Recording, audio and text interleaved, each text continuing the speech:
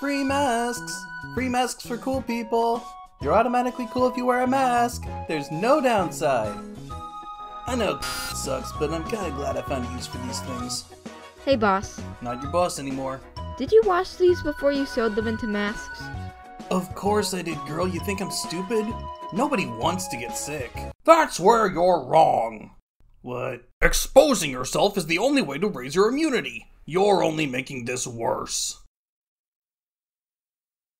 Plumes. On it.